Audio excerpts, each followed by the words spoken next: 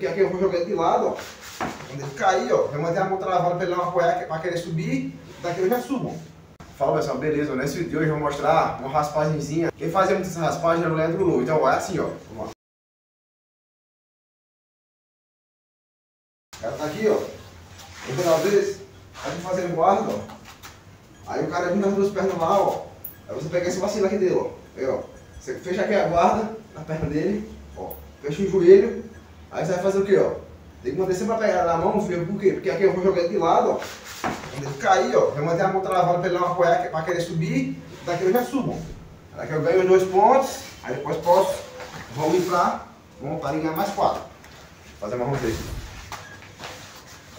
Ó, ela tá aqui. Rodazinha aberta, pelo quadril. O cara fechou lá, vai dar oportunidade, ó. Joga aqui. Muitas das vezes você também pode, ó, pegar aqui na, na calça contrária. Eu já vou fazer para esse lado, ó. Eu vou pegar aqui na calça, por dentro. Do outro lado lá, ó. Aqui. Vou ter na pegada firmar, eu jogo pro lado. E aqui eu, eu mantei também a perna dele travada, para subir. É uma variaçãozinha, mas ainda prefiro a passãozão aqui, ó. Aí você chega aqui, ó. Tem aqui, o cara deixa o pé junto aqui, ó.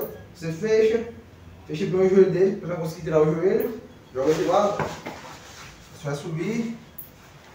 Ganha dois pontos. E depois só pra a vontade, beleza? É isso aí, se gostou do vídeo, se inscreve no canal, deixa o like, compartilha comigo. Valeu!